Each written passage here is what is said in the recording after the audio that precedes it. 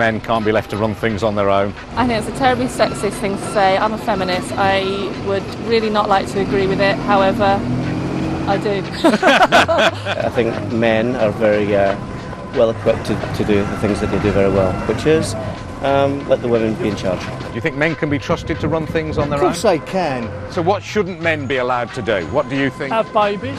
Look after the money. absolutely dreadful at washing up. couldn't make dinner, couldn't make dinner, couldn't make dinner, couldn't make dinner, couldn't make dinner. I can wash, I can clean, Can I you? can cook. Yeah. I think you a renaissance man. do you get stroppy once a month? Uh, no.